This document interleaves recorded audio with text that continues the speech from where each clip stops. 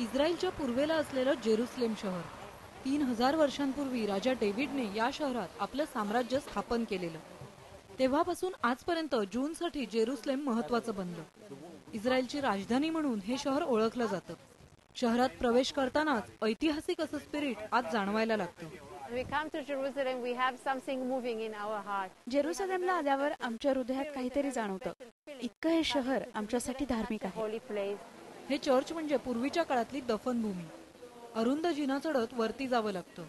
जिवीट सोबतच आम्ही अंधाऱ्या चर्चमध्ये फिरलो. प्रार्थनेसाठी लावलेल्या मेणबत्त्यांचाच काय तो आत उजेड असतो. येशू ख्रिस्ताला सुळावर चढवल्यानंतर ज्या जागेवर पुरण्यात आलं तीच ही जागा असं मानलं जातं. त्याची आई हेलन हिने मात्र ज्यावेळी या जागेवर येऊन पाहणी केली त्यावेळी जिजस आकाशात उडाला होता असं मानलं जातं. कितीही आख्यायिका असल्या तरी ज्यू आणि ख्रिश्चन या दोन्ही धर्मियांसाठी ही जागा अतिशय पवित्र मानली जाते. Still ख्रिश्चन लोक अजूनही जिजसची वाट बघतात कारण तो दफनभूमीतून नाहीसा झाला. पूर्व जेरुसलेम हे सतत राजकीय हल्ल्यांमुळे चर्चेत असलं तरीही जेरुसलेमला भेट देणाऱ्या पर्यटकांची गर्दी मात्र वाढतच असते.